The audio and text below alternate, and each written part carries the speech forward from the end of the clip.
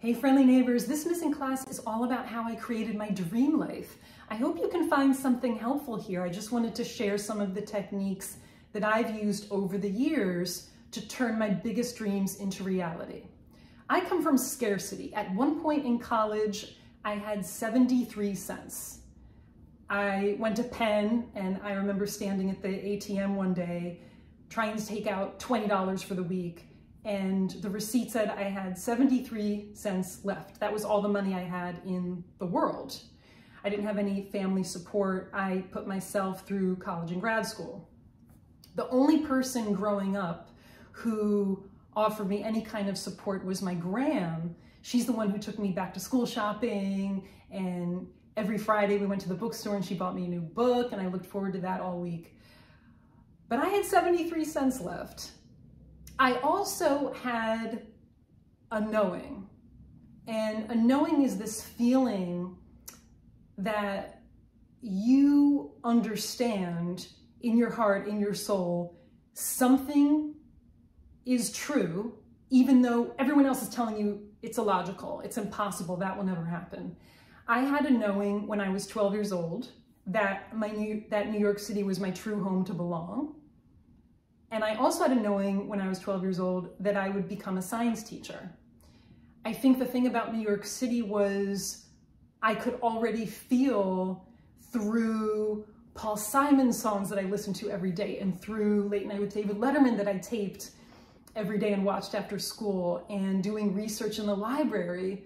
I would just get books about New York City and I would look at maps of different neighborhoods and I would sketch them in my notebook and I just had a knowing that New York City was where I was going to find my people and where I was going to feel most like myself. And the thing about becoming a science teacher was I think even at 12 years old, I knew that my teen years were going to be the hardest years of my life. And I just wanted to help other kids feel less alone and not feel as horrible as I did. So I came here for grad school at NYU and then I started teaching and I was $70,000 in debt with student loans. And I think the first year teaching, I was making $32,000. I would go to the West Village after school. I taught in the South Bronx and I would take the subway down to the West Village. The West Village was my dream neighborhood. It's the place where I felt the most alive and still do. And I would just walk around and just take in the energy and look up at the buildings and notice all the details, the architecture and just the people and the energy and looking in windows like my characters in Take Me There do. I totally do that. You'd be surprised how many people leave their shades up in New York City. Like even on ground floor apartments, you can look right in. I think they're saying like, yeah, I know my place is sweet. What? You can look in anytime you want. So I'd walk around and feel the energy and feel alive. And I just knew that I would live in the West Village. It was another knowing, even though the West Village is pretty much the most expensive neighborhood. And again, the knowing is just this feeling I had that was pure clarity to me, but illogical to everyone else. So I was living in other neighborhoods before I could move to the West Village, um, paying off student loans and trying to save what I could for the move. And then on my 30th birthday, my gram died. And my gram was like my whole family. And I had a knowing that she would die on my 30th birthday. And he even said it the morning of my 30th birthday. I remember even saying to my first class, I don't know why I said that, but I just said, I have a feeling that my gram's gonna die today. And when I was getting on the subway after school, one of my kids said, I hope she don't. But she did, and to me it was like a sign that it was time to turn that dream into reality of living in the West Village. So the first two weeks of summer vacay that year, I pounded the pavement of the West Village every day. I walked every street. I talked to supers. I talked to residents. I stalked every building. I looked at listings in the New York Times and the Village Voice, and I called brokers from payphones all day. But all the brokers were yelling at me. The brokers were yelling at me like, you're never gonna find a one bedroom in the West Village for 1700. Is that your budget? that first of all, that's like 90% of your salary, so you can't pay that. and two, you're not gonna find an apartment, a real one bedroom for 1700 you're not gonna find anything in the West Village for under 2500 and at 2500 you're gonna be getting a small studio. So I had all these brokers yelling at me that what I was looking for didn't exist. But what existed was my vision of an apartment in the West Village that was beautiful and that was $1,700 a month. And I found it. And I lived in that apartment on Jones Street for nine years. And within nine years, the rent only went from 1500 to 1750. So yes, most of my salary went to rents. and I think that happens in New York City, especially when you first move here um, or you're not making a lot. And of course, paying off student loans. But I think I was 34 by the time I finally paid off my student loans. And then I kind of had a vision of a career change. I never thought I would do anything else but be a teacher. So when I was 12 years old and I had my knowing about being a science teacher, I just thought I'd be a science teacher forever. And that's what I would do. And I loved teaching. I love my kids. I love being in the classroom. But I also started writing a book in grad school and I had a knowing that the book I was writing would one day be published. So just like all those brokers were yelling at me about, you can't find a one bedroom in the West Village for 1700, that doesn't exist. Now everybody was yelling at me about publishing a book because they were like, you can't have a book published. No one has a book. You're a science teacher. Your background is science, education, what, have you even taken a creative writing? class? Like, what do you, you can't. So everybody was telling me that I would never have a book published, but I had a knowing that this book would be published. And the knowing was so strong that the imprint that rejected me twice when I sent the manuscript to them right? They rejected me once. You, you, you think that would be enough to get the memo that like, okay, don't resubmit. But I revised it and I resubmitted and they reje rejected it again. So it was like, did you not hear us the first time? That imprint went on to publish my first eight books. Okay, so then eventually my book sold enough copies so I could buy an apartment because part of my dream life, when I visualize my best life, is owning an apartment in downtown Manhattan. I wasn't sure where, but I knew it would be here somewhere.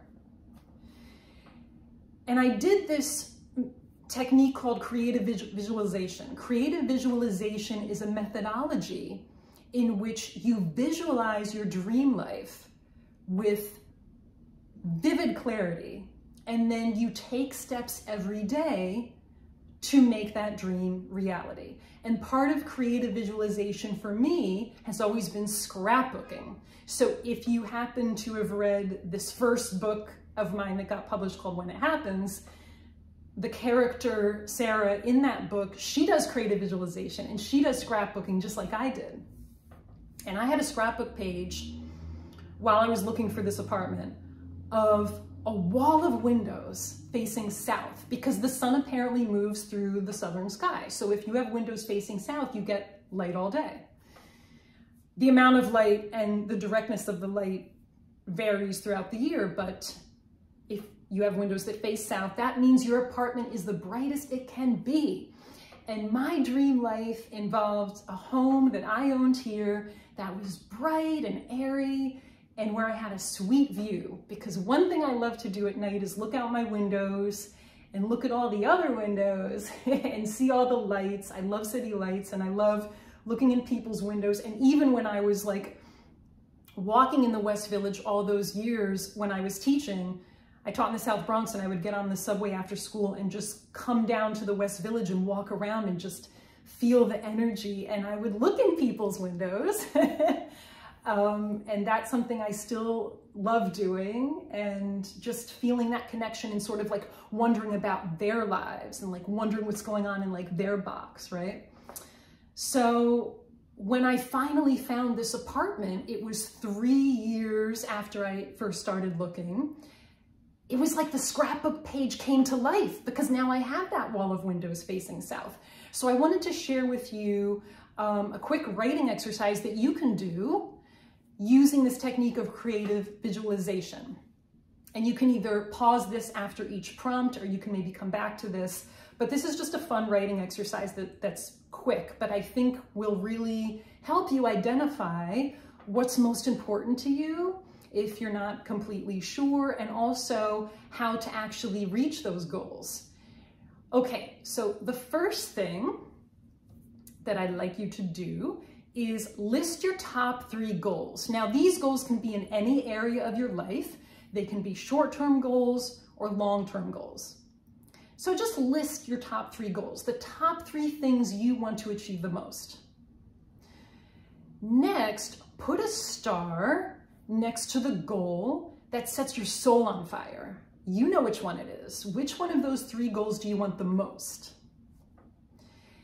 Now list three things you could do every day, realistically, three things you can do every day to work towards achieving that goal.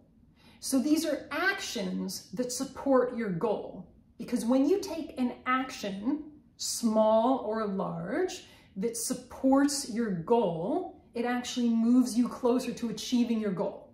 So what are three things you could do realistically every day that would move you closer to achieving your goal. Starting today, do at least one of those things. And the key is really that creating your dream life is about starting now. It's not about starting tomorrow or on some other day in the future. It's about starting right now. This is something you can do right now. Start manifesting right now. So what's one thing that you can realistically do today, now, to move you closer to your goal. It could be a thing that takes 30 seconds. It could be a thing that takes five minutes. It could be a thing that takes an hour. That's totally up to you. The more action you take, the closer you will come to reaching that goal. So creative visualization basically in my life has been imagining your goal in vivid detail and then taking steps every day to make that goal a reality. Every action has an equal and opposite reaction. Equal in magnitude and opposite in direction.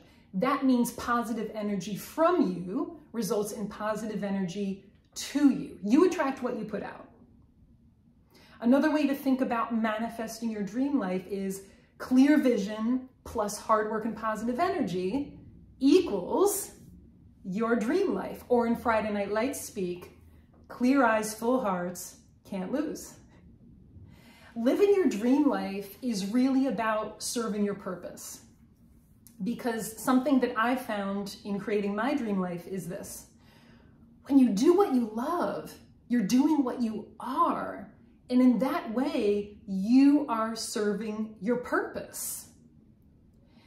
Now, this can change what you love the most can change over the years. For example, when I first started teaching, I couldn't imagine doing anything else and I loved teaching so much and that was my entire passion. But then becoming a full-time author became my passion and I wanted to do that the most and so that's what I did. So over the years, what you feel the most passionate about might change, but the heart of your purpose lives on being a teacher, being an author, it was all about helping people. I know my purpose is to help people. I know that's why I'm here. But what if you don't know your purpose? What if you don't feel passionate about anything?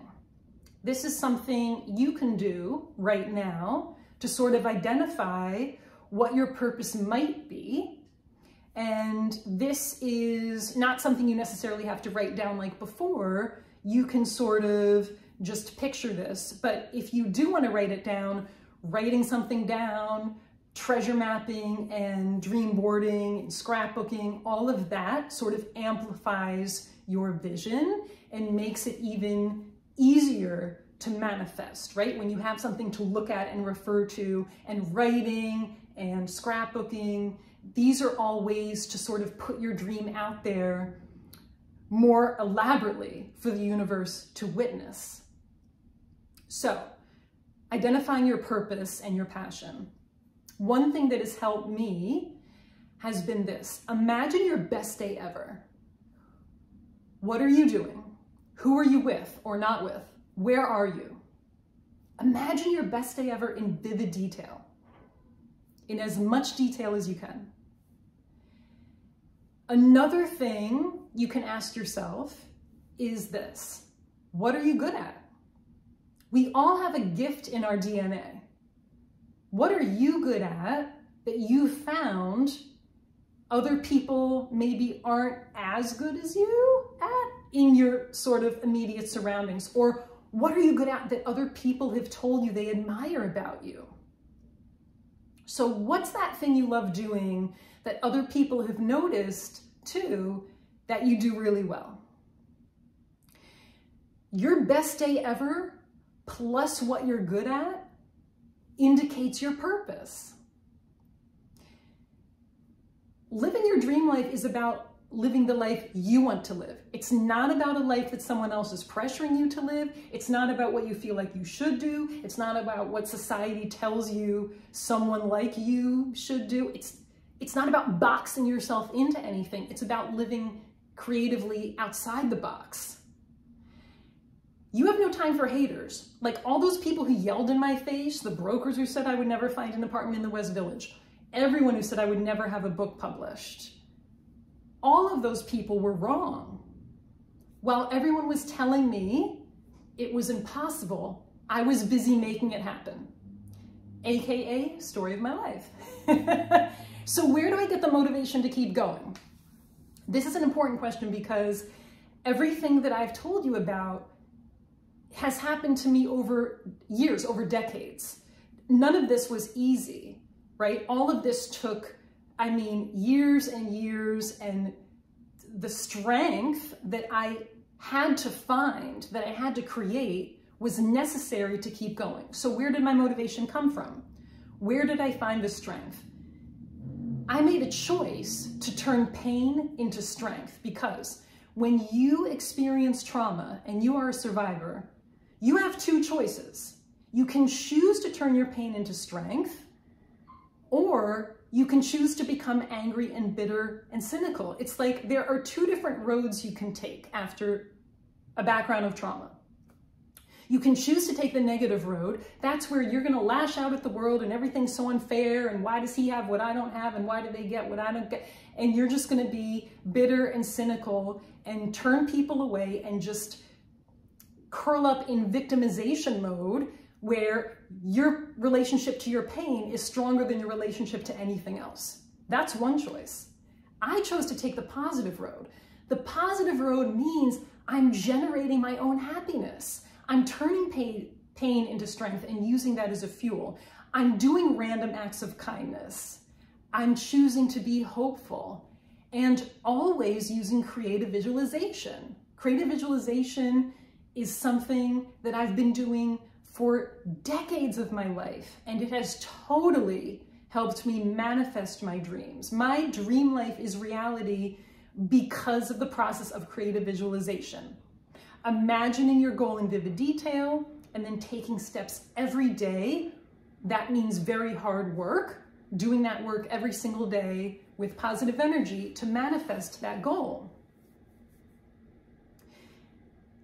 You are not alone we're all a work in progress. You never get to a point where in personal development, you're perfect, right? It's never like, I've been working on myself for all this time and now I'm done, ta-da! Like, no, like we're all works in progress. The work is never done. But manifesting your dreams one by one is something that was totally possible for me. And if I can do it, you can absolutely do it no matter where you come from. I want to hear about your dream life. I want to hear about your top goal and what you're doing every day to manifest it. I would love to see your comments. Again, you're not alone. We're all in this together. I'm still manifesting. I'm still dreaming. I'm still creating. And I'm so happy to share this with you and hopefully you found something useful. And I would love, love, love to hear all about how you are creating your dream life. Until next time.